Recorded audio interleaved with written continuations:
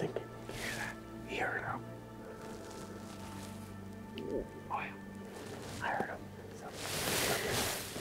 He's, he's low enough. I think, I think we can go back down where we were last night. Get set up right Get set up right in the same spot. Yeah, you'll probably come down that valley. Okay. Okay, you guys go down right in here. Set up same place.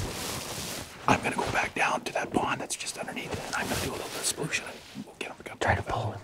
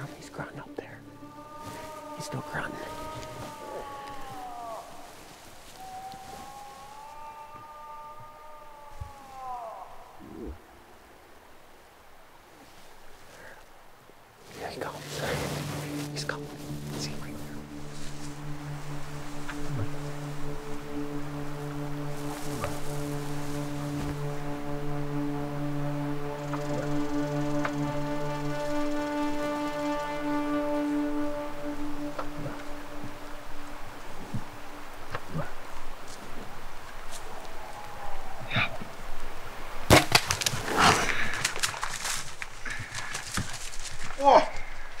Oh! Oh! Eels! You believe that?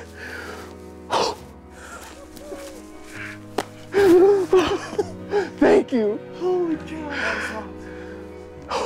Whoa. Whoa.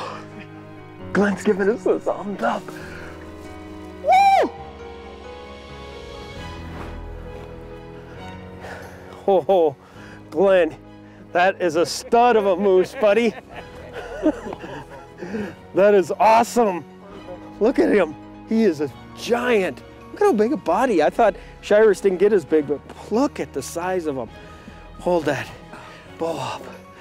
Oh, look at him. He is gorgeous. He's got awesome points, doesn't he? Long tines on him. Thank you, buddy. Oh, And what a shot! Oh, Thank man. you. Perfect. yeah, he only went, what, Not even 75 yards? That Muzzy Trocar put it on him. When they come in like that, too, I mean, if that don't get your blood pumping, nothing does. I mean, he just, whoa. And uh, I seen him coming, I'm like, I had a hard time keeping it all together, but that's my first moose with a bow ever. He's got some cool looking points, long, and his brows are strong. This is a good Shiras right here. Look at this palms. You guys want to hunt big Shiras moose? Give Glenn a call at Blue Brana. Got to thank you and Donna both. You've been awesome to us over the years. I mean, we've shot in giant mule deer, and now we just anchored a giant Shiras moose. Yeah, baby. Time to get the outdoor edge out and uh, put the wild pack to use. We got a lot of knives for you boys. Try touching it up.